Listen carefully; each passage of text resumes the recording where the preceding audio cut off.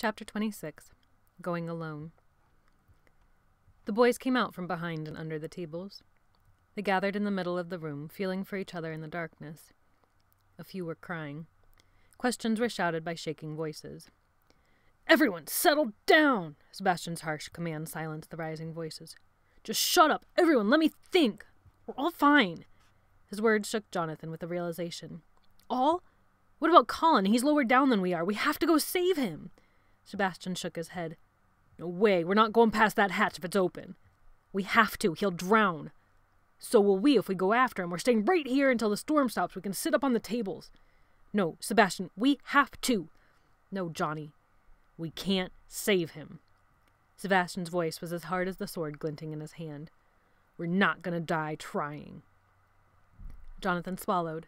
His whole body was trembling with cold, with anger, with fear. He rubbed his arms with shivering hands, feeling the burns and scars through his wet sleeves. He imagined he could hear Colin crying for help.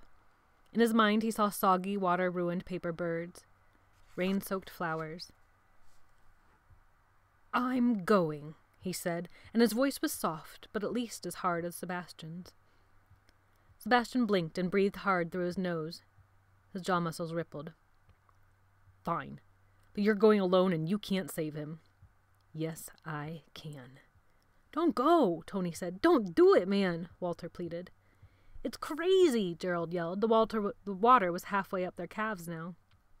Let me have a lantern, Jonathan said into Sebastian's eyes. Sebastian glanced quickly around. We only have three left, Sebastian said. Jonathan kept his eyes locked on Sebastian's, unblinking. After a moment, Sebastian blinked. Fine. Take one, better bring a candle, too. Without another word, Jonathan jerked a lantern out of the nearest kid's hand. He yanked a candle out of the holder by the doorway. He was two steps into the corridor when a sudden thought stopped him. Patrick! he exclaimed. The coal room is flooding. He looked to Roger and Gregory. They didn't look tough at all. They looked soaking wet and scared. Go get him and bring him up. The two boys didn't move except to look at Sebastian. After a moment, he nodded. They turned and jogged toward the coal room. Jonathan adjusted his grip on the lantern's slippery handle and took off into the darkness as fast as he could through the rising water. Good luck! Walter shouted after him. Then another kid shouted the same thing.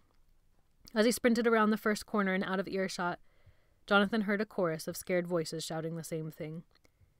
Their voices echoed behind him, following him into the black, flooded maze of Slabhenge. Good luck!